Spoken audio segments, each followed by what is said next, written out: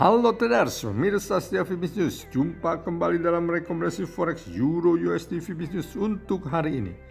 Euro USD kehilangan daya tariknya dan turun ke bawah 1.0750 di sekitar 1.0745 pada jam perdagangan sesi Amerika Serikat hari Senin, menghapus proses keuntungan hariannya.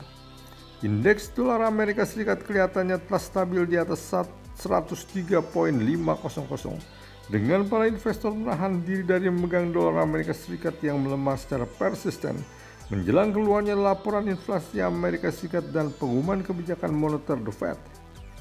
Pasangan mata uang Euro USD turun mencapai dasarnya di 1.0732 pada jam perdagangan awal hari Senin pagi. Euro USD berhasil bangkit pulih kembali selama jam perdagangan sesi Eropa dan naik ke puncaknya di 1.0789. Namun dalam jam perdagangan sesi Amerika Serikat hari Senin malam, Euro USD berbalik turun ke bawah 1.0750 dengan dolar Amerika Serikat berhasil mengumpulkan kembali momentum bullish-nya. Indeks dolar Amerika Serikat berbalik naik sehingga kembali membebani Euro USD. Indeks dolar Amerika Serikat naik 0,15% ke 103.297.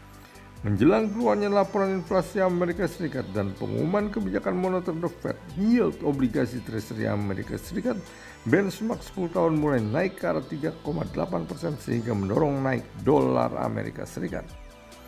Support terdekat menunggu di 1.0710 yang apabila berhasil dilewati akan lanjut ke 1.0660 dan kemudian 1.0615. Resisten terdekat menunggu di 1.0788 yang apabila berhasil dilewati akan lanjut ke 1.0810 dan kemudian 1.0850. Demikian rekomendasi forex Euro USD untuk hari ini. Semoga bermanfaat bagi Anda. Selamat berinvestasi. Sukses selalu. Salam hebis.